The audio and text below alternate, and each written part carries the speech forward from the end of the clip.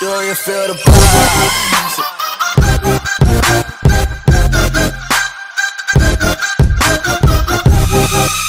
Hey guys, the iDevice guy here, back to video. So first of all guys, click this red colored subscribe button so you can subscribe to my channel. And once you're subscribed, click the bell button next to it so you get notified every time I upload a video. So guys, let's start the video. In this video, I'm going to be showing you how to make custom intros for your YouTube videos. So first of all guys, you head to this uh, uh, website which will be also linked down in the description it's called panzoid.com. Guys, I recommend using this website on Google Chrome as it's the best browser to use and not on any other browser. So guys, now you select the template which you would like. Then you click it. I'll be choosing this epic orange one. You click open in Clipmaker. It'll take a while to load. Once it's loaded, guys, you can choose any of these templates here on the left side if you like them. To preview the template, you're going to click this play button and this watch button.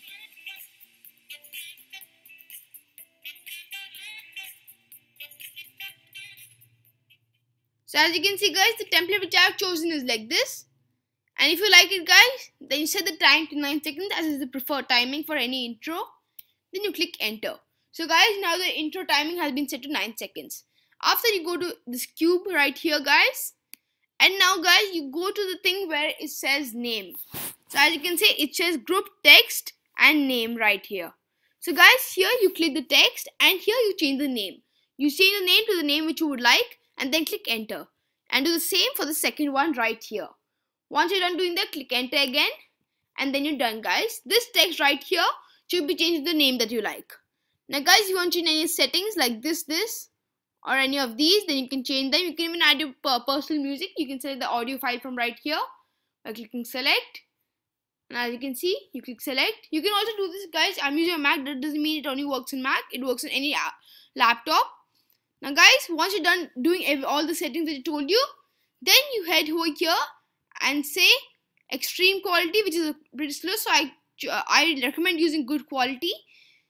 Click good quality and you change to say uh, the the dot like the file which you would like for me is dot mkv guys dot mkv is not supported on everything so I recommend using a video converter to convert it into mp4 and guys then you say start video rendering. I'm gonna start video rendering guys. That'll take a long time. As you can see it's the time is three minutes. It depends on how long the video is uh, how long the intro is. So as you can see guys rendering the video once you finish rendering the video it'll ask you where to save it or you can send it to your mail. Guys if you have any other doubt regarding this do not hesitate to contact me down below in the comments and I'll respond to you as quickly as I can guys. So guys if you enjoyed this video leave a like and comment below